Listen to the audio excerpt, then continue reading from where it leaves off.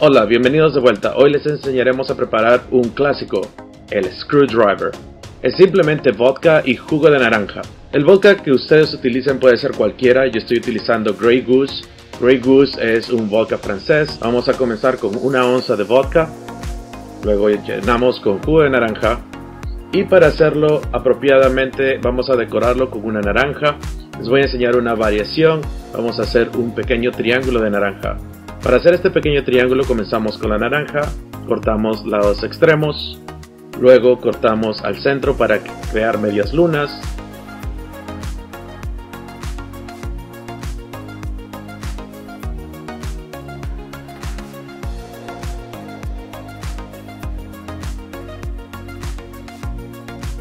Luego la media luna la cortamos justo a la mitad ese pequeño triángulo le hacemos una pequeña incisión que va a ser la parte que se va a mantener enganchada contra el borde del vaso.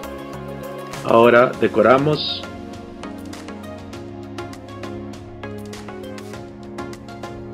y luego colocamos el sorbete en el lado opuesto para crear balance.